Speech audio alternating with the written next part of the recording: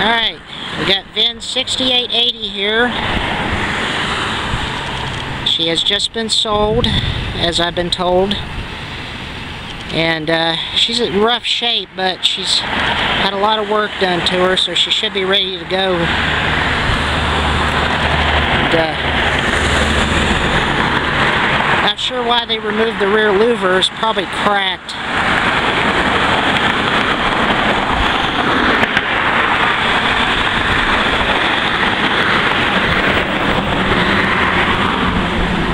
Know if you can see it or not.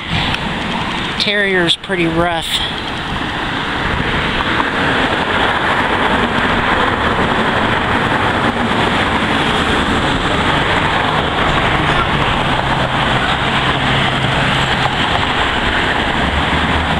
Well, I hope the new owner takes good care of it.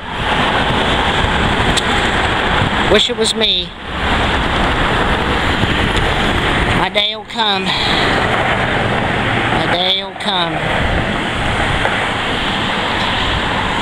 Thanks, man.